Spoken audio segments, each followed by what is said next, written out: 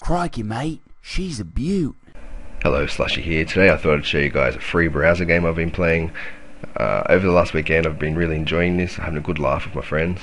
So basically what it is, is like a cross between Pictionary and Chinese Whispers.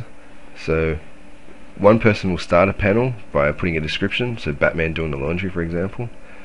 And then someone will get that description, they have to interpret it into a drawing.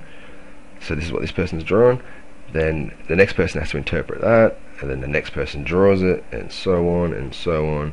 And you end up with some pretty funny results. Some rounds aren't that good, but some of the result, uh, some rounds I've been in have had me in stitches. So I just thought I'd share this game with you guys. What I'll probably do is I'm going to record a couple of rounds, and I'll probably time lapse it with some music behind it or something. Because no, I mean it takes 10 minutes to draw one picture, so I'll probably put about 30 minutes worth of footage into the next four minutes. So I hope you guys enjoy. Have a good weekend. Um, yeah, catch you.